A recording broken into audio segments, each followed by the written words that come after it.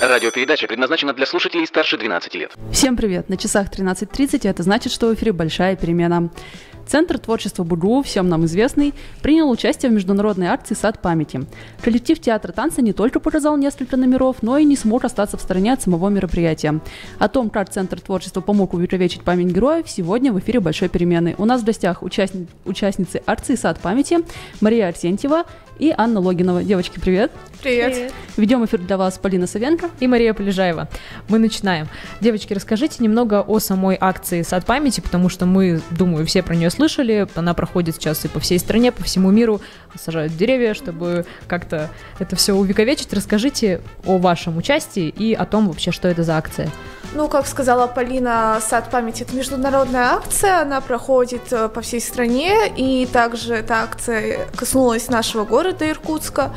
А, Мы участвовали в ней по приглашению, на заметили на одном из выступлений, и пригласили наш коллектив э, для небольшой концертной программы. Ну и также нам предложили поучаствовать в самой акции, посадить дерево, и мы не могли остаться от этого в стороне и согласились. Как вообще отреагировали на такое приглашение? То есть это как-то волнительно или наоборот, это как для вас такой хороший опыт, которого вы, может быть, даже ждали? Как для вас это? Нам на самом деле было очень интересно. Ребята с энтузиазмом очень отнеслись к этому. Было весело. Еще повезло, было очень тепло, солнышко. И вот. Какие номера вы представили вот на этой акции? Что вы станцевали? А, Мы представили два номера. Это «Казачий», которого премьера состоялась на студ весне.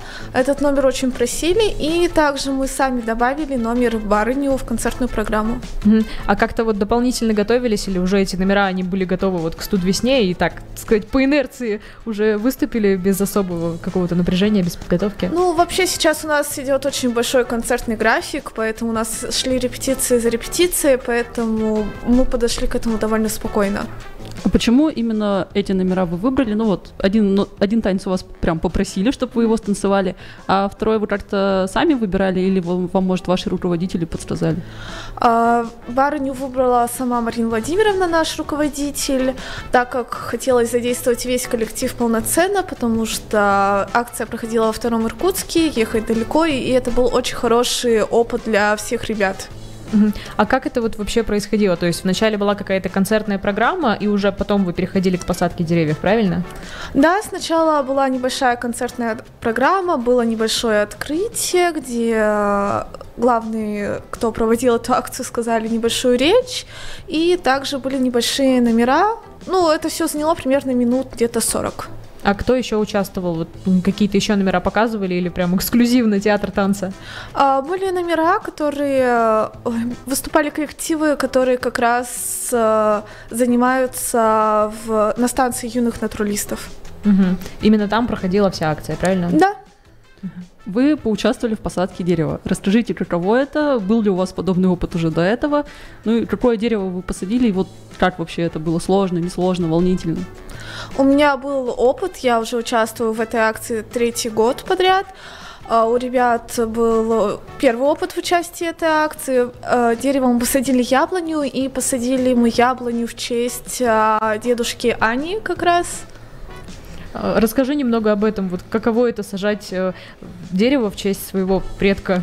А, На самом деле это было очень волнительно, потому что я писала дедушке сочинения, очень много разговаривала со своим, ну, бабушкой, дедушкой о нем. А также там была фотовыставка, где я не заметила своего дедушки, но там было очень много э, разных, э, ну, как сказать... Портретов каких-то героев? да, портретов э, старших поколений э, участников самой акции. А, затем нам выдали, ну, сам саженец и такой, как... А, В общем, все необходимое для его посадки. Да, да, да. а, и выдали портрет самого моего дедушки и также нашу фотографию с ней.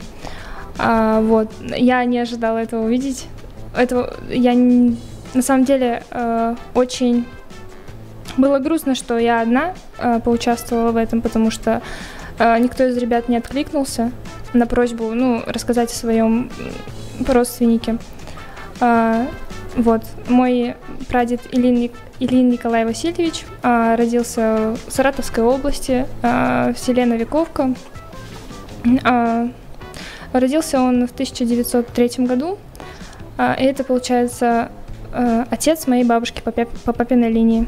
А, ну, войну он встретил, победу он встретил э, в Австрии и уже вернулся домой к своей семье. Получается, прошел всю войну. Да, прошел всю войну. И теперь в Иркутске будет расти дерево в его честь, Да. чтобы я, память о нем жила. Я сразу сфотографировала, то все отправила родственникам, бабушке рассказала. Они очень обрадовались и поблагодарили за такую возможность э, как бы и дальше Хранить его память. хранить его память, да.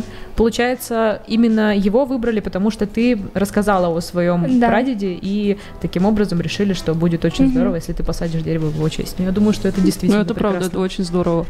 А расскажите, кто еще принимал участие в этой акции, насколько она была вообще масштабной, может быть, какие-то объединения, детские, юношеские, может быть, э, ветеранские какие-то организации? Вообще принять участие мог любой желающий э, в этой акции. Также из объединений, насколько я знаю, принимали участие движение первых иркутское отделение. Но акция была очень масштабная и было высажено, точно могу сказать, больше 20 деревьев. То есть вообще было много людей в тот момент, в тот день, там именно на станции натуралистов. Да, было очень много. Также э, на станции юных натуралистов были и ветераны войны, которых также почествовали, подарили им цветы и памятные подарки. А занимался ли Центр творчества подобными, ну, участвовал ли он в подобных мероприятиях до этого, или это вот именно первый опыт, когда вы не только вот выступили с такой вот патриотичной программой, но и поучаствовали непосредственно в посадке де- деревьев? Насколько мне известно, что это был довольно первый опыт. Надеюсь, он будет и дальше. Ну, вы сами хотели бы еще поучаствовать в будущем в подобных акциях? Мне кажется, да. Конечно, потому что это увекове- увековечивает память. э, И чем больше мы помним, тем э, меньше шанс, что это повторится. Согласна. Я вот еще хотела узнать, э, Мария, расскажи, как ты раньше принимала участие, потому что ты сказала, что это уже не впервые для тебя участие в акции «Сад памяти». Где еще ты сажала деревья и как это было? Сажала я тоже на станции юных натуралистов. Э, Моя мама работает там, и, в принципе, это была идея ее, и я только поддержала как раз. Мгм. А довелось посмотреть на твои деревья, которые ты сажала раньше, или вот не успела как-то вот э, занята выступлением и посадкой нового дерева? Ну так, э, мельком взглянула, у нас там уже растет вишня, такая красивая. Мгм. То есть они прижились, все да, красиво, все все растет. красиво. А Это вот здорово. к этому дереву, которое вы посадили вот на этой акции, вы планируете как-то возвращаться, может быть, ухаживать за ним? Вообще, нужна ли ему забота вот на всем пути его роста? Ну, вообще, на станции юных натуралистов есть работники, которые занимаются этим, и нам бы очень хотелось на самом деле увидеть какое-то дерево вырастет через лет 5-10. Мгм. Ну, ну, я думаю, что вы вполне сможете через 5-10 лет приехать туда со своими, может быть, детьми, показать им э, это дерево. Да, чтобы- и, и я думаю, что для Анны это будет особенно важно. Да. Вот такое вот э, дерево, которое напоминает о родном человеке. Может быть, даже хотелось бы с семьей туда вернуться. Да, очень хотелось бы, хотелось бы делать фотографии, знаете, через э, определенные периоды, чтобы увидеть, э, ну, как э, Рост. увидеть рост, да, увидеть прогресс. Мгм. А какой еще патриотической деятельностью занимается ваш коллектив и в целом Центр творчества? Ну и, может быть, вы вне э, студенческой своей жизни тоже, может быть, занимаетесь чем-то подобным? Ну, наш коллектив уже третий год подряд принимает участие в концертной программе фестиваля «Наша Победа». Это большое мероприятие в нашем вузе, и нам всегда приятно и радостно выступать на сцене перед э, командами, и очень приятно. В целом, вот э, о патриотической деятельности э, хотела вот узнать ваше мнение. Как вы считаете, насколько важны подобные акции, как Сад памяти, и в целом вот вся деятельность, в том числе и Центра творчества по патриотической вот этой направленности, насколько это важно и насколько это влияет на людей?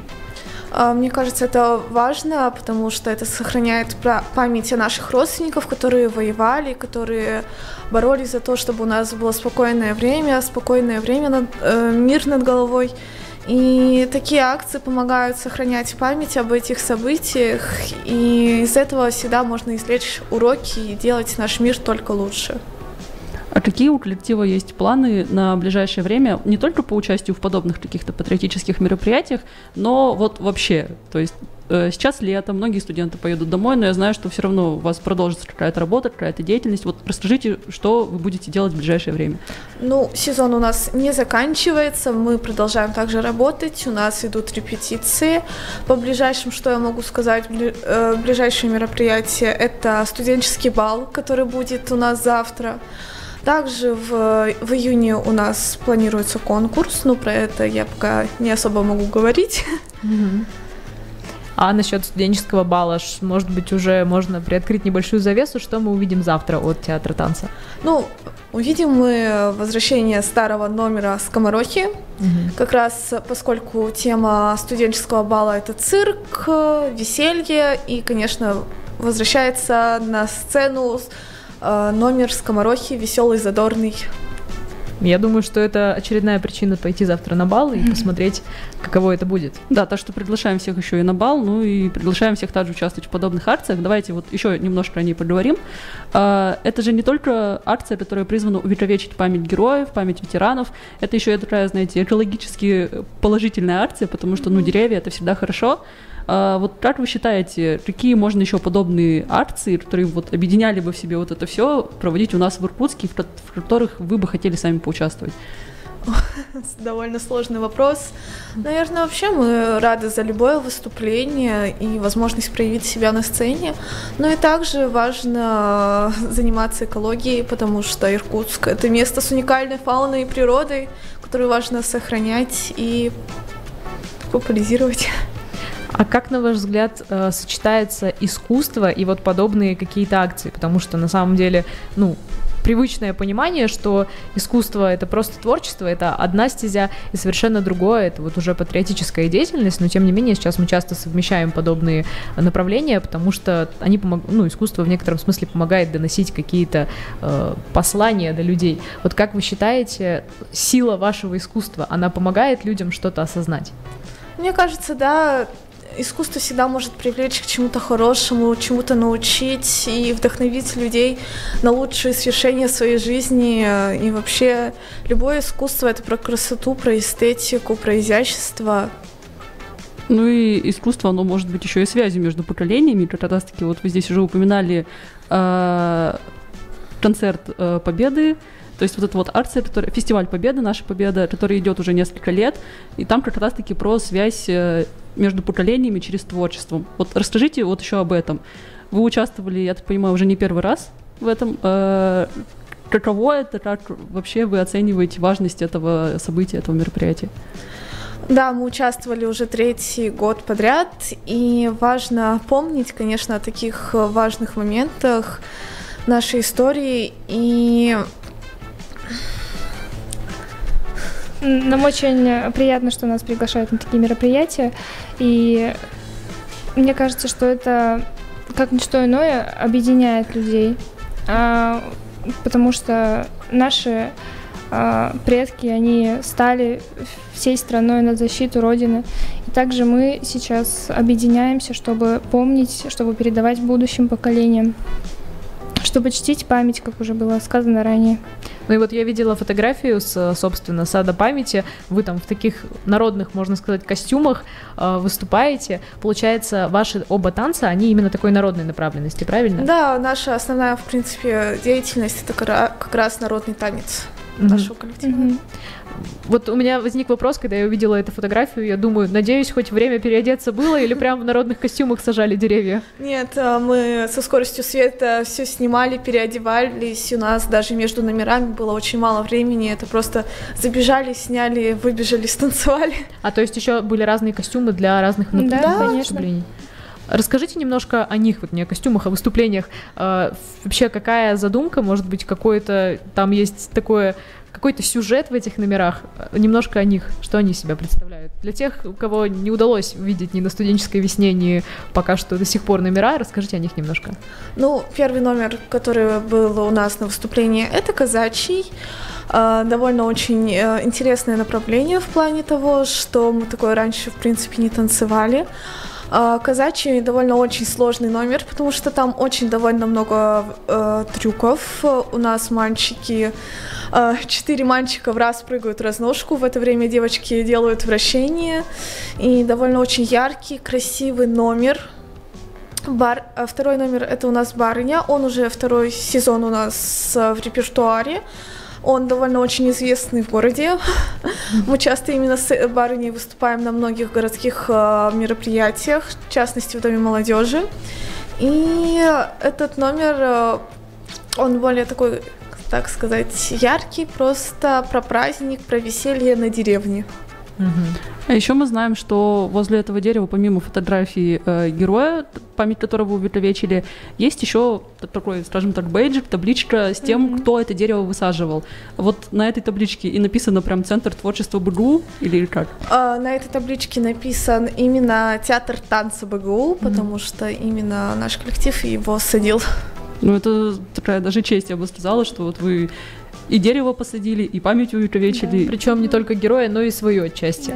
Да. Свой это, вклад. Это, это очень здорово. Ну и давайте такой вот заключительный вопрос. А, Вы поучаствовали в этой акции, вы поучаствовали уже во многих там подобных других мероприятиях. А, Посоветовали бы вы своим ровесникам, своим там, одногруппникам, может быть, друзьям тоже принять участие в какой-то подобной акции? А, И почему это важно? Вот помнить об этом и участвовать в этом всячески.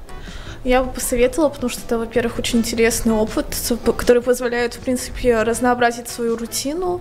И это очередной способ э, хоть как-то сделать что-то хорошее в этом мире. По-моему, очень здорово.